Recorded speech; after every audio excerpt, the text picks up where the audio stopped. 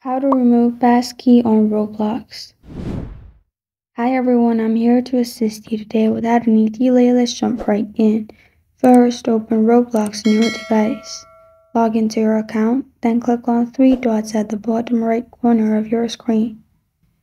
In here, scroll down to Settings. Click on Settings.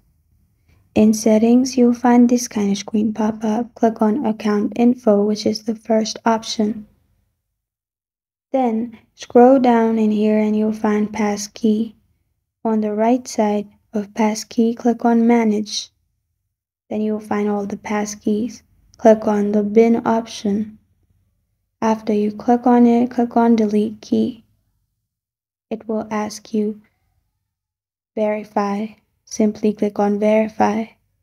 After that, verify by adding code or your lock screen password and you're good to go. This is how to remove passkey on Roblox. Thank you for joining me today. If this video helps you out, please leave a like and subscribe for more. About question or want to suggest a topic, comment below. Thank you for watching.